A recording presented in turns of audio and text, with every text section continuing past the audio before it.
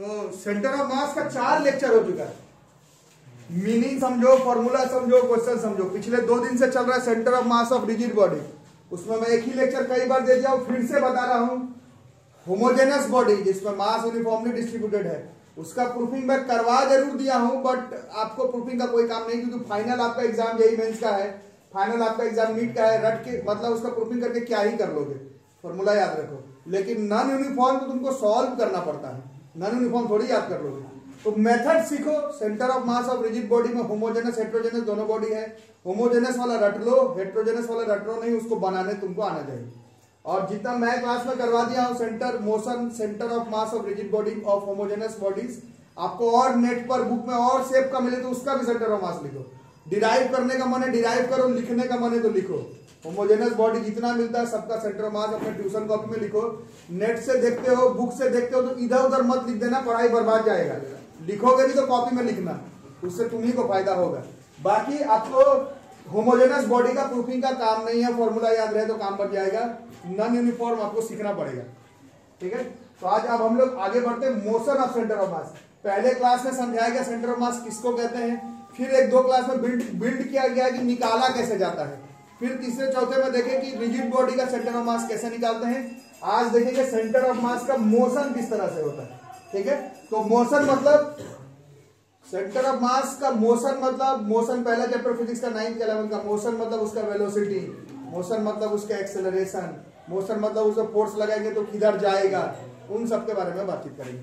तो अभी तक तो आप सेंटर ऑफ़ मास निकालने का फॉर्मूला देखे थे। अब उसी में वेलोसिटी जब निकालोगे सेंटर ऑफ़ मास का तो वही सिस्टम है। अगर दो बॉडी का सिस्टम होगा तो क्या था? एम वन एक्स वन था ना? यहाँ पर हो गया M one B one plus M two B two अगर दो बॉडी का हुआ तो बाई। अगर दो से ज़्यादा का होता है। Acceleration of centre of mass M one A one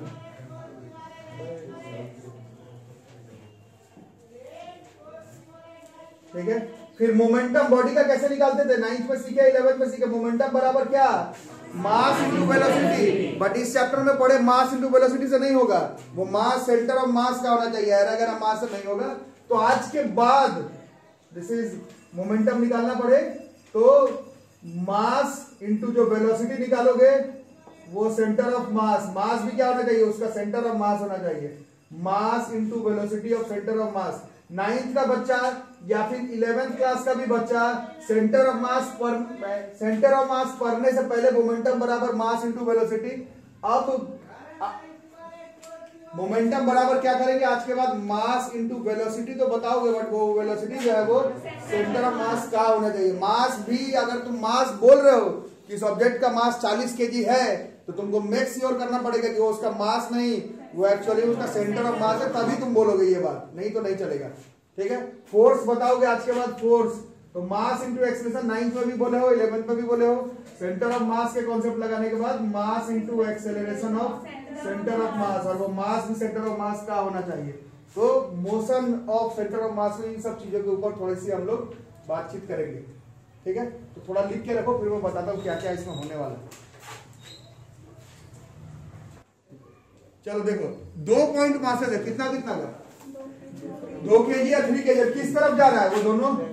straight line speed भी दिया हुआ, बात नहीं थ्री मीटर पर सेकंड है फाइव मीटर पर सेकंड कल परसों तक हम लोग इसका क्या बता पा रहे थे? पोजीशन मालूम हो रहा था तो इसका position of centre of mass बता पा रहे थे। आज क्या बता देंगे हम लोग?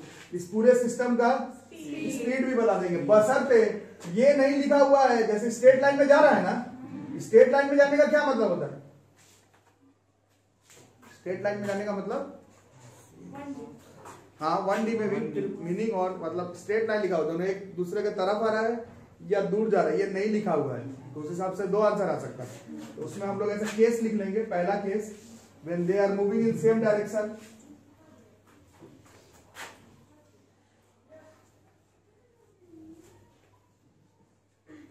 दूसरा they are moving in opposite direction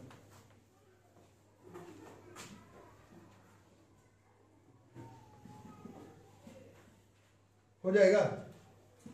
क्या क्या गिवन है?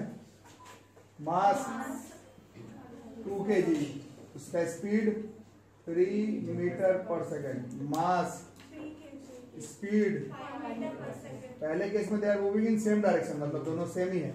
तो velocity of centre of mass M one B one तो two into three plus M two B two divided by M one plus M two छ this is four point two metre per second और इसी का case B का answer M one तो two ही रह गया। बी थ्री रह गया। M two three V two minus five they are moving in opposite ये भी माइनस हो सकता है। ये कोई मेंस नीट का क्वेश्चन नहीं समझाने के लिए तो तुमको इसको माइनस लेना तो ये माइनस ले लो, इसको प्लस कर दो। ठीक है, ये तो बस समझाने के लिए है। ऐसे क्वेश्चन में velocity of centre of mass is two into three plus three into minus five by M one plus M two कितना हो गया? छ में से पंद्रह चला गया। माइनस नौ बाई पाँच this is minus one point ना? स्पीड माइनस का मतलब ये जो तुम माइनस लिए हो, उस डायरेक्शन में बॉडी जो है वो सेंटर ऑफ़ मास उस तरफ़ मूव कर। ठीक है? This is our motion of centre of mass अब इसमें मैं बहुत कुछ बताऊँगा आज के क्लास में। ये स्ट्रेट लाइन वाली बातचीत है। ये बस समझाने के लिए बस। फटाफट लिखो। एक और ऐसा पहले बना लो। Two point masses of two K G and one K G are moving along the same straight line with speed two metre per second and five metre per second ठीक है? Find the speed of centre of mass of the system when the particles are moving in same direction and when the particles are moving in opposite direction कितना है पहले का? Three metre पर second और दूसरे का? Minus one minus one by three minus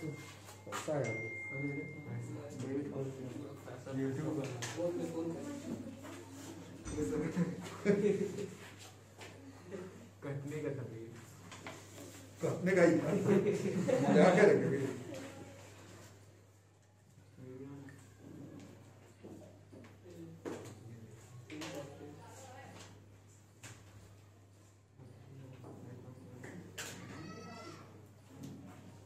कितना आ गया बताओ पहले वाले का आंसर आएगा थ्री कर लोगे ना? दूसरे वाले का माइनस ठीक है मीनिंग को पहले पहले फॉर्मूला को समझो, फिर मीनिंग समझाता हूँ। ठीक है? टू के जी पार्टिकल है। इसका वेलोसिटी दिया हुआ है। देखो देखो, आज आराम से करते कोई दिक्कत नहीं है। आज के क्लास का सेंटर ऑफ़ मास आ जाएगा समझ में।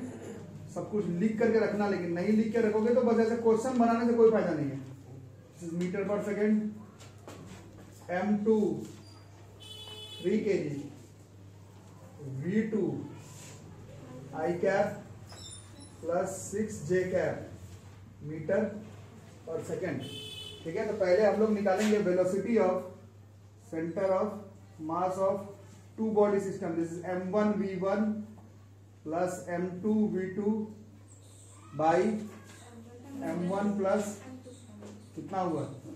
Two two I cap plus three into I cap plus six J cap by M one plus M two five this is four I cap minus two J cap three I cap eighteen J cap by five this is seven I cap sixteen J cap by five metre per second है ना? अब momentum निकालना है. Momentum this is total mass into velocity of centre of mass तो mass कितना था? पाँच. दो प्लस तीन, पाँच. Into this is seven I cap sixteen J cap by five. Is seven I cap plus sixteen J cap K G metre per second पूरा रहा है। Next a particle of mass m has an acceleration of 3 metre per second square in x direction इसका मतलब क्या हुआ? अगर इसको vector form में करेंगे तो m1 अगर m है तो a1 कितना हो गया? आई क्या है? x डायरेक्शन और दूसरा पार्टिकल है मास 2m है इसका एक्सेलरेशन कितना है? लेकिन three J cap acceleration of centre of mass ऊपर लिखा हुआ है वेक्टर फॉर्म में ही। एम वन ए वन तो M into three I cap plus two M into three J cap divided by M one plus M two M plus two M three M this acceleration of centre of mass कितना हो गया? Three M I cap six M by common निकाल के काटो कितना हो गया two आई cap होगा ना एम भी तो कट जाएगा आई हाँ I cap two J cap metre per लेकिन क्वेश्चन ऐसे हाँ एक्स वाई के फॉर्म में मतलब एग्जैक्ट आंसर दिया हुआ है। तो ये हम लोग पढ़े हैं वेक्टर अगर इस फॉर्म में हो तो उसका मैग्नीट्यूड कैसे निकाला जाता है?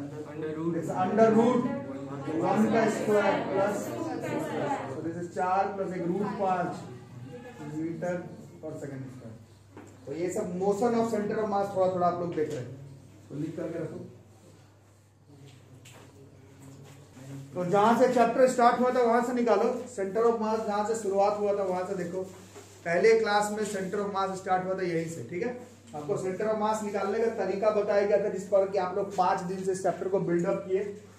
अगर इसको वेक्टर फॉर्म में एक बार और एनालाइज करेंगे तो कुछ इसी तरह से था, है ना? दो पार्टिकल था mass M one M two और ओरिजिन देख लो अपना अपना डायग्राम में देखो, से यहाँ तक का पोजीशन वेक्टर दिया था आर वन वेक्टर इस और बताया गया था कि ये अगर सिस्टम है, कितने पार्टिकल का सिस्टम दिख रहा है? इसका सेंटर ऑफ़ मास बात हुआ था कि कहीं यहीं पर, कहीं पर होगा। यहाँ पर, कहीं पर बात हो रहा था कि यहाँ पर इसका सेंटर ऑफ़ मास जो है वो होने का चांस है है ना?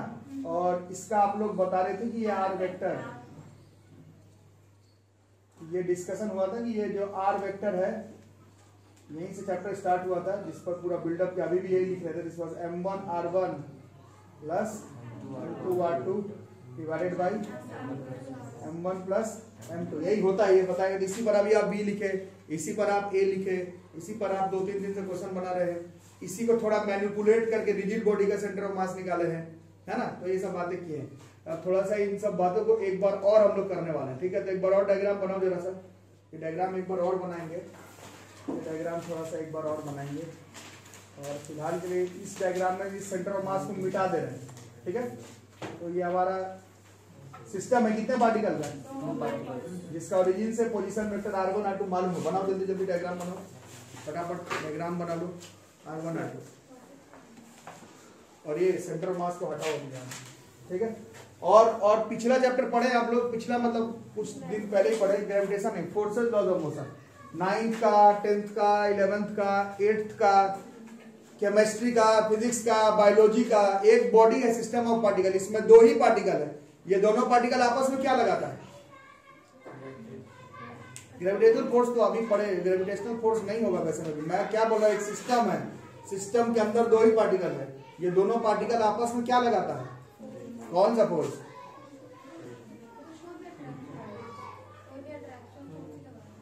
कौन सा उसका नाम क्या है? बट अरे इंटरमोलिकुलर फोर्सेस ऑफ़ अट्रैक्शन है फोर्थ क्लास में पढ़े हो। जैसे ये, अरे हाँ फोर्थ ही में था सॉलिड लिक्विड गैस का सॉलिड में इंटरमोलिकुलर स्पेस कम होता है फोर्सेस ऑफ़ अट्रैक्शन ज़्यादा होता है फोर्थ ही क्लास में पढ़ना था। खैर, बोलने का, अरे आप लोग बात नहीं समझे कोई ग्रेविटेशनल फोर्स बोला ग्रेविटेशनल फोर्स तो यूनिवर्स में किसी भी दो बॉडी के ऊपर होता है, उसका तो पिछला चैप्टर था ये एक सिस्टम है, ऐसा एक सिस्टम है।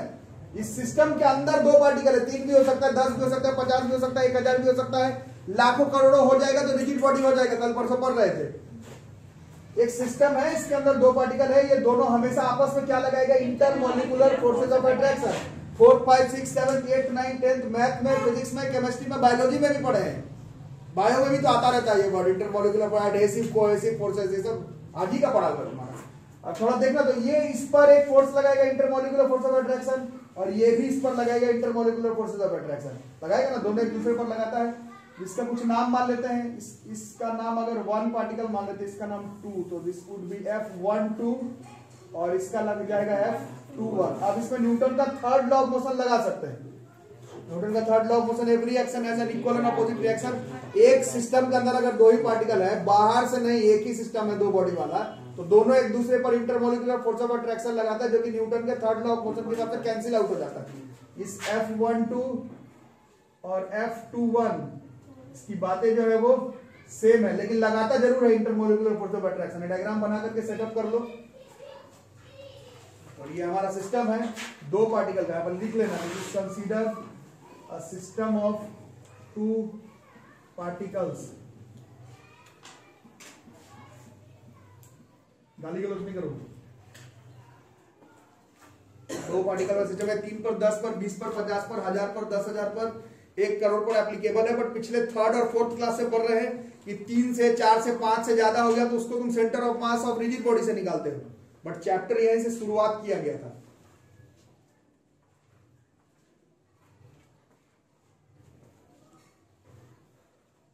Every action has an equal and opposite reaction तो वेक्टर के फॉर्म में लिखे हो तो ये क्या होगा? Every action has an equal and opposite reaction का यहाँ पर माइनस भी होगा थर्ड लॉ ऑफ़ मोशन से। दोनों को एक तरफ़ लिख लोगे तो F one two plus F two one ये वन टू टू वन समझ रहे हो ना क्या है? क्या है? वन टू का मतलब क्या है? फोर्स जो वन पर लग रहा है टू लगा रहा है। टू वन का मतलब क्या हुआ? वन लगा रहा है, ठीक है? वो तुम अपने हिसाब से मैनिपुलेट कर सकते हो। ठीक? इसको थोड़ा सा बढ़िया से लिख करके रखो। ये इंटरमोलिकुलर फोर्सेज है। Intermolecular forces of attraction ध्यान से लिखना है, सिर्फ़ ऐसे प्रूफिंग करके न्यूमेरिकल चार बना लेने से उससे फिजिक्स नहीं हो पाएगा। थोड़ा बढ़िया से इसको अंडरस्टैंड करने का ज़रूरत है।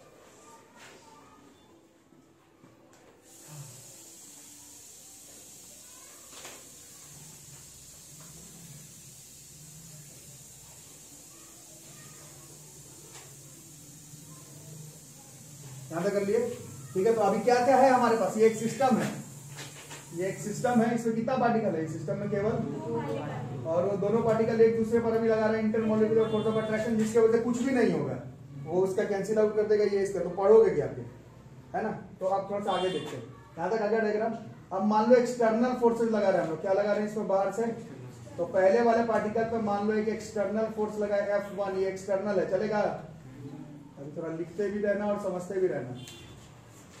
और ये दूसरा वाले पर, ये जो टू है, इस पर बाहर से एक फोर्स लगा है। F two small F two ये क्या है? ये एक्सटर्नल फोर्सेज है। चलेगा? ठीक है? अभी लिखना मत, अब देखो। अब थोड़ा सा फोर्सेज लॉ ऑफ़ मोशन की तरफ़ चलते हैं। नाइन्थ में जो पढ़े हो और इलेवेंथ में जो पढ़े हो। ठीक है? फ्रॉम न्यूटन का second law of motion instantaneous rate of change of linear momentum अगर वन का पूछूँ तो क्या होगा? क्या होता है? Instantaneous rate of change of linear momentum बराबर क्या होता है?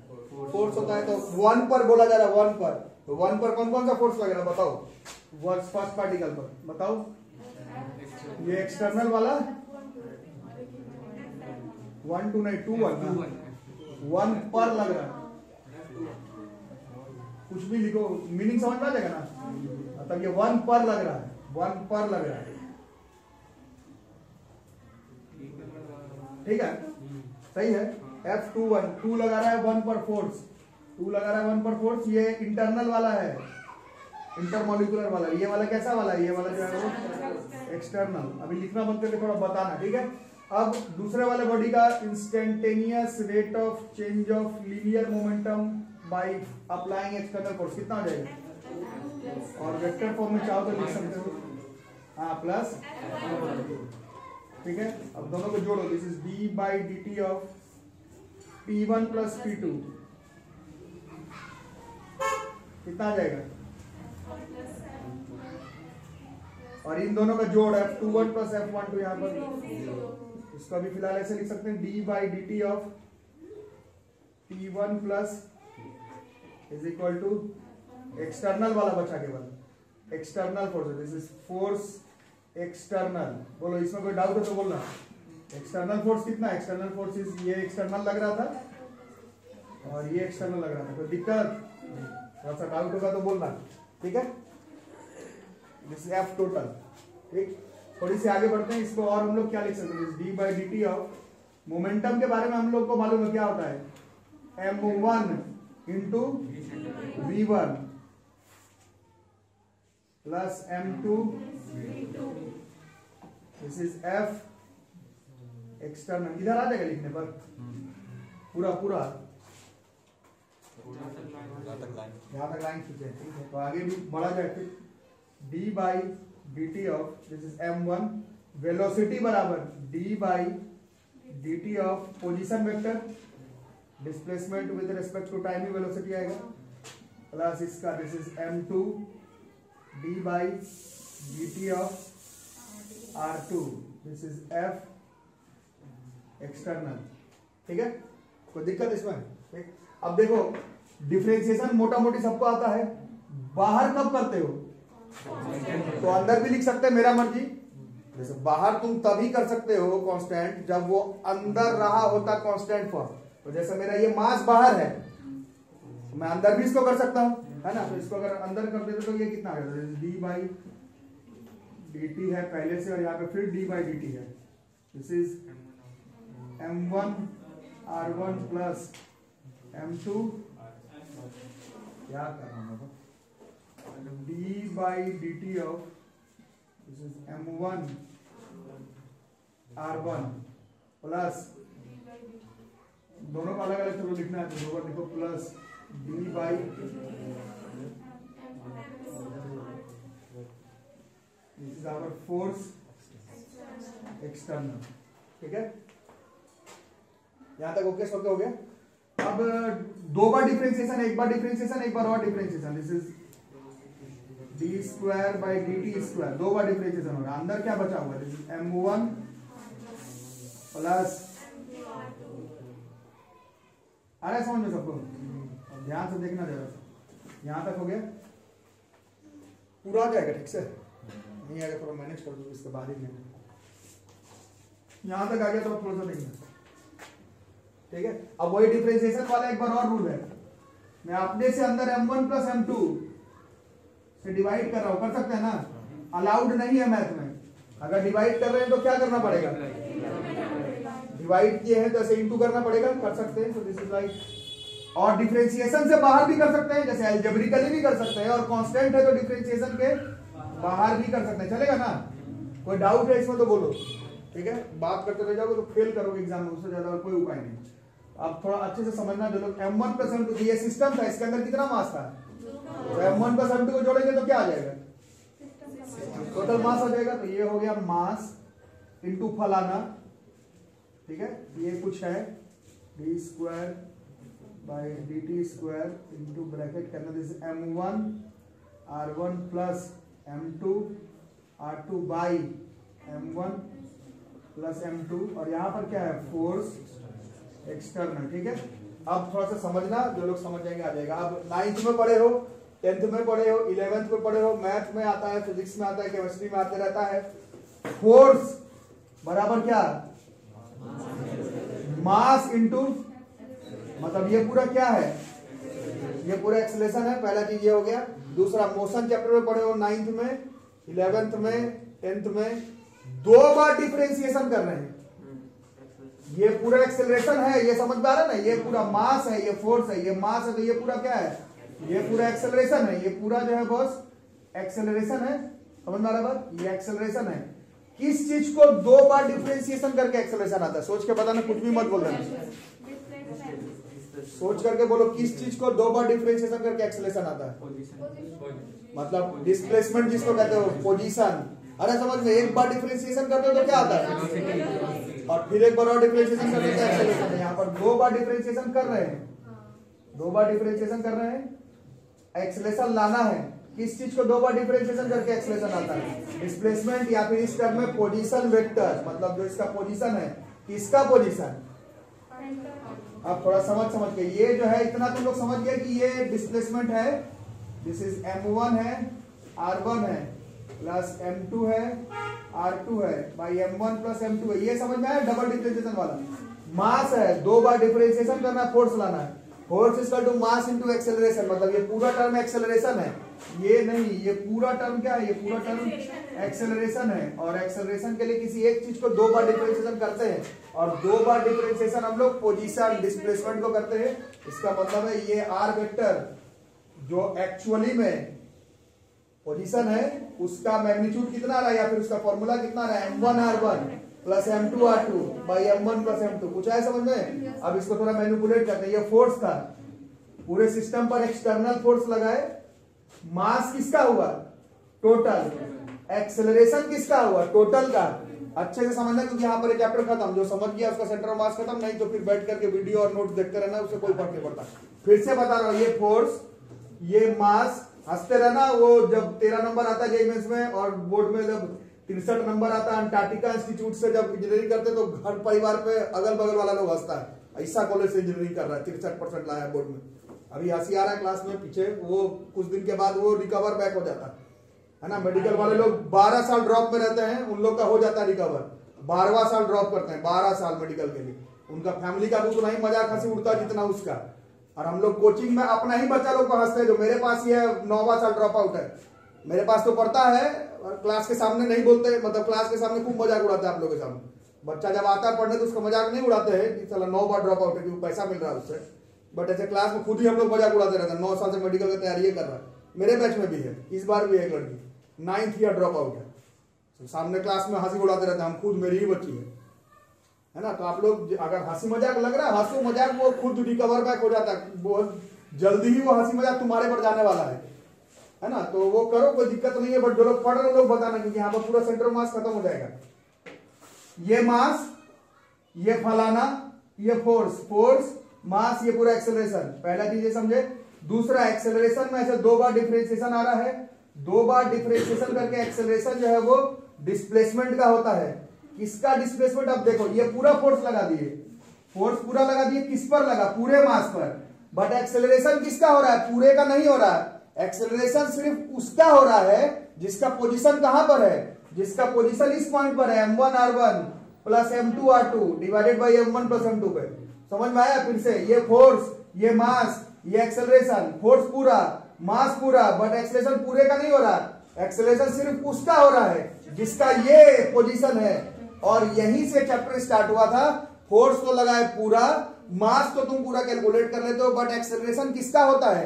अगर फोर्स तुम पूरा लगा दिए हो मास अगर कंप्लीट का कंसीडर कर रहे हो तो एक्सेलरेशन केवल सेंटर ऑफ़ मास का होता है। इसका मतलब है, ये जो पॉइंट आ रहा है, ये कोऑर्डिनेट अलग अलग पॉइंट का नहीं है, ये कोऑर्डिनेट किसका है? ये है सेंटर ऑफ़ मास का कोऑर्डिनेट यहाँ पर, इसी यहीं पर चैप्टर यहीं से शुरुआत हुआ था।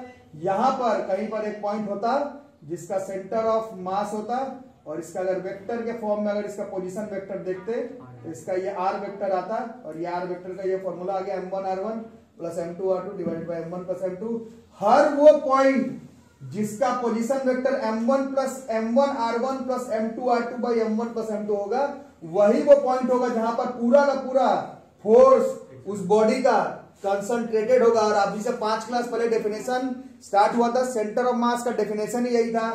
सेंटर ऑफ़ मास वो पॉइंट होता है जहाँ पर पूरे ऑब्जेक्ट का मास डिस्ट्रीब्यूटेड हो। या फिर और आगे बात करें तो फोर्स लगाएँगे तो मास गुना एक्सेलरेशन अगर वो पूरा मास कंसीडर कर रहे हो तो एक्सेलरेशन किसका होना चाहिए? एक्सेलरेशन सिर्फ़ वेलोसिटी किसका होगा? सिर्फ़ सेंटर ऑफ़ मास का। न्यूमेरिकल बना मोमेंटम किसका होगा? सिर्फ़ सेंटर ऑफ़ मास का। और जो सेंटर ऑफ़ मास है उसका कोऑर्डिनेट जो है वो m one r one plus m two r two divided by m one plus m two से निकलता है। प्रूफिंग को थोड़ा आसान करने के लिए दो पॉइंट पे किया गया है। ये तीन पर कर सकते हैं, चार पर कर सकते हैं, पाँच पर कर सकते हैं। उसके बाद बताएगा छह पर, दस पर, बीस पर करने जाओगे तो वो बहुत ज़्यादा हो जाएगा। उसके लिए हम लोग उसको फिर रिजिड बॉडी का उसका एक तरीका अलग है मेथड अलग है। This is how centre of mass calculated ठीक है? और रही बात सिर्फ़ स्कूल एग्ज़ाम की तो इसका प्रूफिंग स्कूल एग्जामिनेशन में आने वाला है। जिन लोगों का स्कूल एग्जामिनेशन है सेंटर ऑफ़ मास डिराइव करने के लिए for system of two particle ये स्कूल एग्ज़ाम में डेरिवेशन में आता है। M one r one plus divide by m one plus m यहाँ पर थोड़ा लैंग्वेज लिखना पड़ेगा। लिख लोगे ना? फोर्स मास टोटल एक्सलेशन पूरे का नहीं, सिर्फ़ उसका जिसका पोजीशन वेक्टर ये है। और इसी को ही हम लोग सेंटर ऑफ़ मास कहते हैं। ठीक है? तो लिखो। तो ये वाला जो प्रूफिंग हो गया, ये सेंटर ऑफ़ मास अभी थोड़ी देर पहले देखिए b of centre of mass क्या हो जाएगा? इसको बस एक बार क्या कर देना है? इसको एक बार डिफरेंशिएशन करना है तो ये अभी थोड़ी देर पहले किए थे, कितना आ जाएगा? M one b one plus m two b two अभी न्यूमेरिकल बनाए थे इसका, नहीं? क्या करना है? इस आर को टी के रिस्पेक्ट में क्या कर देना डिफरेंशिएट ये मास कांस्टेंट है, ये डिफरेंशिएट नहीं होगा, ये डिफरेंशिएट हो जाएगा। तो आर वन बी वन में बदल जाएगा। मास कांस्टेंट है डिफरेंशिएट नहीं होगा, ये आर टू बी टू में बदल जाएगा। मास कांस्टेंट है मास जहाँ का तहां जाएगा। अभी थोड़ी देर पहले एक्सेलेशन पढ़ो सेंटर ऑफ़ मास का कैसे निकालोगे? इसके एक बार और डिफ्रेंशिएशन करना है तो ये एम वन फिर ये ए वन हो जाता, ये एम टू ए टू हो जाता, और ये m one plus m two हो जाता, इसी पर न्यूमेरिकल बना है जब एक्सेलरेशन ही निकल जाएगा सेंटर ऑफ़ मास का तो फोर्स निकालना पड़ेगा तो मास टोटल ले लोगे बट एक्सेलरेशन किसका लेना पड़ेगा? सिर्फ़ सेंटर ऑफ़ मास का। मोमेंटम अगर निकालना पड़ेगा, अभी निकाले हो तो मास टोटल ले लोगे बट वेलोसिटी किसका निकालना पड़ेगा? सिर्फ़ सेंटर ऑफ़ मास का यही अभी थोड़ी देर पहले आप लोग किए हैं। और ये जो प्रूफिंग है, ये दो बॉडी पर, किताब में भी दो ही बॉडी पर मिलेगा करवाया हुआ जानबूझ करके क्योंकि थोड़ा कॉम्प्लिकेटेड टॉपिक है। इसमें इंटरमोलिकुलर फोर्सेस को एडजस्ट करना है। साइंस आज सौ दो सौ सालों मतलब जब से साइंस बहुत तेज़ी से आगे निकला है, उसके बावजूद हमारे पास इंटरमोलिकुलर फोर्सेस का फॉर्मूला उसका साइंस का कॉन्सेप्ट हमारे पास अभी भी नहीं है। जैसे इसमें तीन बॉडी ले लें, चार बॉडी ले लें तो फिर उसका इंटरमोलिकुलर फोर्सेस कैसे एक दूसरे को कैंसिल आउट करेगा, वो सब नहीं हमारे सिलेबस में नहीं कर सकते हैं। इसलिए प्रूफिंग का हिसाब दो बॉडी पर किया गया है बट बताया गया है कि ये तुम तीन पर लगा सकते हो, चार पर लगा सकते हो, पाँच पर लगा सकते हो। और ज़्यादा दूर आओ तो इस, इससे नहीं बन पाएगा मतलब अगर एक बॉडी एक सिस्टम में बहुत सारा पार्टिकल हो गया तो एक्चुअली में वो रिजिड बॉडी बन जाएगा। पिछले दो दिन से आपको बता दे रहा है रिजिड बॉडी का होमोजेनस का सेंटर ऑफ़ मास निकालने का टेक्निक अलग है हेट्रोजेनियस का सेंटर ऑफ़ मास निकालने का टेक्निक अलग है। ये कॉन्सेप्ट है सेंटर ऑफ़ मास का प्रूफिंग कम से कम याद कर लो स्कूल एग्ज़ाम के लिए। हेट्रोजेनियस का सेंटर ऑफ़ मास निकालना तुम सीख लो, क्योंकि वो आ सकता है मेंस में एडवांस में नीट में। यहाँ तक कि होमोजेनस वाला भी आ सकता है बट मैं बार बार बता रहा हूँ होमोजेनस का अगर आया तो वो तुम डिराइव वैसे में भी नहीं करोगे सेंटर में तो मैं एक होमवर्क दिया था। मैं तो आठ दस बॉडी का लिखवाया तुमको इंटरनेट से, किताब से, भैया दीदी से, और भी अगर होमोजेनस बॉडी का सेंटर ऑफ़ मास मिल रहा है तो अपने कॉपी में लिख करके रख लो। ठीक है? तो यहाँ से सेंटर ऑफ़ मास खत्म। कल से हम लोग इस पूरे सेंटर ऑफ़ मास का कॉन्सेप्ट को रोटेशनल मैकेनिक्स वाले चैप्टर में कनेक्ट करने का ट्राई करेंगे। ठीक है? एचसीबी जो लोग पढ़ते हैं उसमें ये सेंटर ऑफ़ मास जो है, वो कोलिजन के साथ कनेक्ट किया हुआ है। मैं सेंटर ऑफ़ मास को रोटेशनल मैकेनिक्स के साथ ही कनेक्ट करूँगा। ठीक है? तो कल से हमारा रोटेशनल मैकेनिक्स शुरू होगा। उससे पहले आप लोग का एक होमवर्क रहेगा जब स्टार्टिंग में मैथमेटिकल टूल्स पढ़ रहे थे तो वेक्टर का मल्टीप्लीकेशन सिखाया गया था। कौन कौन सा? डॉट प्रोडक्ट और क्रॉस प्रोडक्ट डॉट मेरे ख्याल से सबको आ गया था। क्रॉस का अभी तक तुमको काम ही नहीं पड़ा इसलिए आया नहीं। अब जो चैप्टर आने वाला है उसमें क्रॉस प्रोडक्ट ऑफ़ वेक्टर्स का काम पड़ेगा। या तो मेरे वीडियो से या फिर आपके पास जो भी स्टडी मटेरियल है उससे आप लोग कल क्रॉस प्रोडक्ट ऑफ़ वेक्टर का एलिमेंटल नॉलेज ज़रूर लेकर के आएँगे। पूरा रोटेशनल मैकेनिक जो है वो क्रॉस प्रोडक्ट ऑफ़ वेक्टर पर बेस्ड है। तो उसको एक बार पढ़ लो। ठीक है? मिलता है अगले क्लास में।